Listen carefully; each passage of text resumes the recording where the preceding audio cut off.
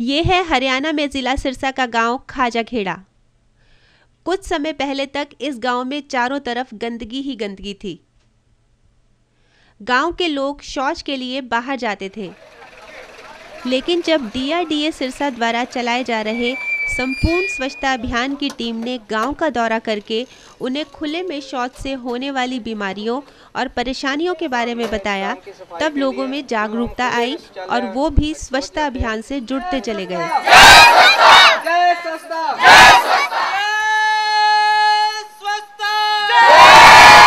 बच्चों और महिलाओं ने रैली निकालकर लोगों को जागरूक किया।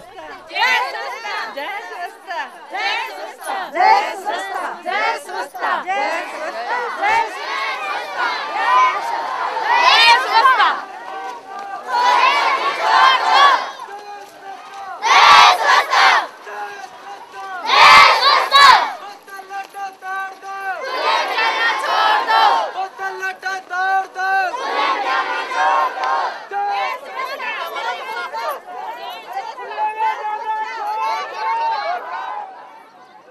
जल्दी ही लोगों को स्वच्छता का महत्व समझ आ गया और उन्होंने शौचालयों का इस्तेमाल करना शुरू कर दिया। सभी गाँव वासियों के प्रयासों से आज यह गाँव पूरी तरह से खुले में शौच से मुक्त है। हम पहले नौ आदमी थे, उसके बाद हम एक एक बढ़ा करके सौ आदमी हो गए कमेटियों के। उसके बाद जो लोग बाहर जाते थे सोच के लिए, उन लोगों को हम रोक्या करते। वो लोग हमें गले पड़े करते थे। कहते थे भी, हम तो ऐसे ही जाएँगे, आप क्या कर दोगे? हमने कहा जी हमने आपके ऊपर कोई केस तो नहीं डालना। हम तो आप जब जाओगे तो हम आपके पीछे जाएँगे और आपकी लेटरिन पे मिट्टी डालेंगे। और हमने हमारा गाँव जो है बिल्कुल सोच मुक्त करवाना है। नारे से एक विशेष उत्साह होता है और उस उत्साह के ज़रिए हम लोगों को जागरूक कर, कर सकते हैं। तो इसी सो इसी सोच के साथ मैं लोगों में गया और मैंने नारों के माध्यम से एक रैली निकाली और रैली से मतलब लोगों को जागरूक किया। और लोगों ने मेरी बात को माना भी और हमारा गाँव जो है आज शौच मुक्त है। पहले लेटरिंग नहीं थी अब हर घर में लेटरिंग है और हमारा गाँव पूरा शौच मुक्त आपका गाँव क्या शौच मुक्त हो गया हो? चुका है बिल्कुल हाँ और इसके अलावा क्या विशेषता है आपके गाँव की? हमारे गाँव में सब कोई पार्टीबाजी नहीं है। सारे एक ही परिवार के आदमी है।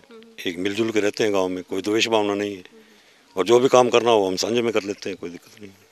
खुश हैं आप? हाँ बहुत खुश हैं जी इस काम से। और अब जो आज गाँव की काया पलट हुई है इसके बारे में क्या कहना चाहेंगे? इसमें हमारे गाँव की बीमारी खत्म हो गई जी। कोई बीमारी नहीं लगेगी गाँव पहले जब आपका गाँव शौच मुक्त नहीं था लोग बाहर जाते थे महिलाएँ बाहर जाती थी किस तरह की दिक्कत होती थी? बहुत ज़्यादा दिक्कत होती थी जी गंद गली गली में गंद बहुत ज़्यादा था। ऐसे में भी बीमारियाँ फैलती थी और हर लोग डॉक्टर के पास जाता ही रहता था। अब ये सोच बंद होया तो डॉक्टर से मुक्त हो गया जी। अब तो बहुत अच्छा हो रहा है काम चल रहा जी। महिलाओं के लिए किस तरह की शर्म वाली बात थी?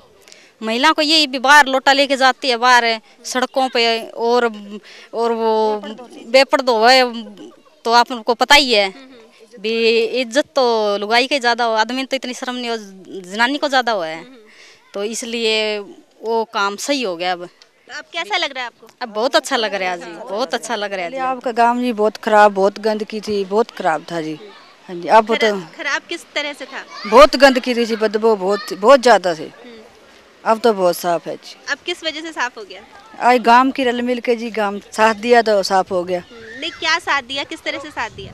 पहले तो जी मेहता साहब की टीम आई थी जी उसने साथ दिया गाँव वाले ने साफ़ दिया। भाई बहनों सारे बच्चों सब मिल के गाँव साफ़ हो गया जी। तो अब कोई खुले में नहीं जाता? नहीं जी अब कोई नहीं जाता। तो अब आपको आज की तारीख में अपना गाँव कैसा लगता है? अब तो बहुत अच्छा लग रहा है। क्या चीज़ अच्छी लगती है अब गाँव की? सारे गाँव ही अच्छा लग रहा है जी अब तो। गाँव के लोग नाच गाकर खुशी का इजहार कर रहे हैं।